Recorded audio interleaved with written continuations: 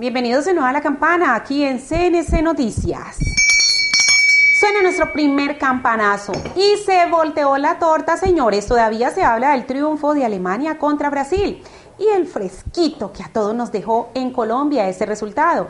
Precisamente nuestros periodistas salieron a hacer un recorrido por todo Tuluá para ver la reacción de los tulueños y el ambiente, aunque menos masivo. Estuvo lleno de pitos, banderas de Colombia, camisetas de Colombia y gente asomada a las calles, como esperando una caravana que nunca se hizo, pero que hubiera valido la pena porque ese triunfo lo sentimos como nuestro. Finalmente, en el sondeo los tulueños coincidieron en lo mismo que las redes sociales y el resto de los colombianos. Se hizo justicia, señores.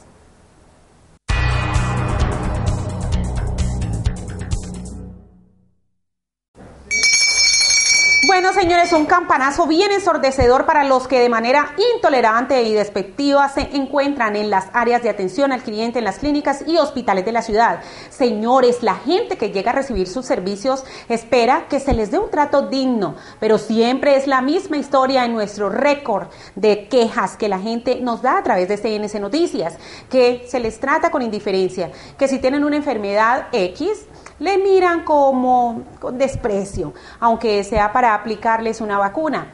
Me pregunto yo, ¿dónde queda el sentido humanitario de esta profesión? Aunque no sean médicos, sino enfermeras o auxiliares administrativos, lo menos que uno espera es que les den un buen trato, respetuoso. ¿O será que cuando ellos se enferman los tratan así?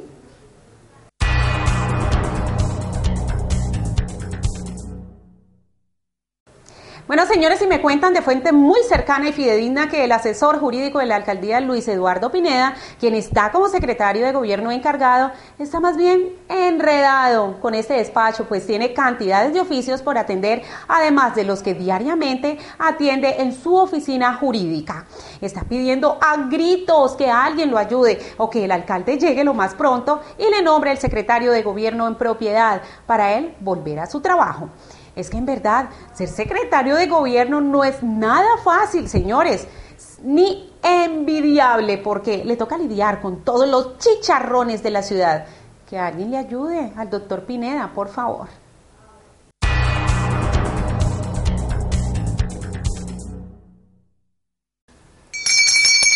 Suena, la campana. El concejal Rodrigo García Monsalve expresó algo que muchos piensan, pero que pocos expresan, que al hospital Tomás Uribe lo quieren dejar acabar para rematarlo y construir en su lugar una clínica privada. Veamos lo que piensa. Que si fuera buena, que si fuera una clínica, dijera uno, vamos a, aquí hay una clínica donde ya no hay que echar la gente para Cali, sería maravilloso.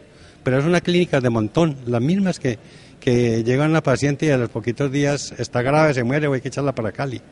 Y, eso quieren hacer con el Hospital Tomás Uribe, quieren arrinconarlo, arruinarlo, acabarlo para que llegue una empresa privada y se apodere de esa infraestructura tan importante. El Hospital Tomás Uribe Uribe es lo mejor que tenemos en Tuluá. Con esto queda expuesto lo que siempre se ha temido, que todo lo público que nos pertenece a todos, pero que ninguno cuidamos, pase a manos de unos pocos que van a privatizar y a cobrar por lo que era público tal como nos está sucediendo, señores. Mi pregunta es, ¿y qué está haciendo de manera práctica el Consejo frente a esto? Además de ejercer el control político. Hay que apretar un poquito. O si no, todo se nos queda en palabras.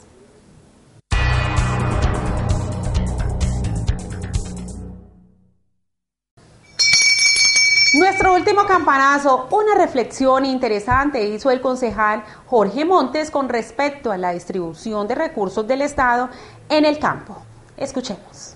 Lo que vengo planteando yo es que hoy escuché un análisis investigativo que hizo RCN, cuánto se podría ahorrar la nación si saca el conflicto armado con la, con la FARC-EP se habla que se ahorrarían menos 15 billones de pesos. Yo he planteado hoy, por ejemplo, que con 15 billones se podrían construir anualmente siquiera 100 mil viviendas gratis.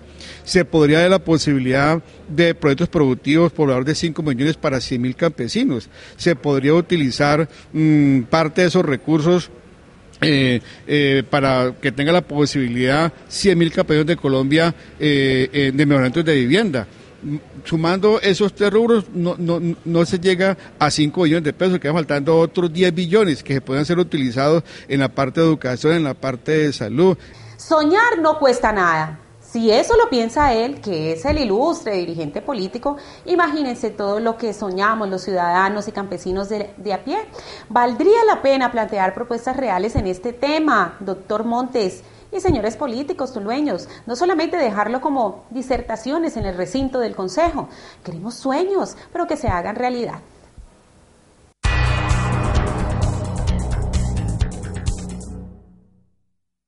Bueno, señores, y con este campanazo me despido. Recuerden que mañana continuamos con mucha más información aquí en CNC Noticias, las noticias que usted quiere ver. Los dejamos con los hechos más importantes del día. Que descansen.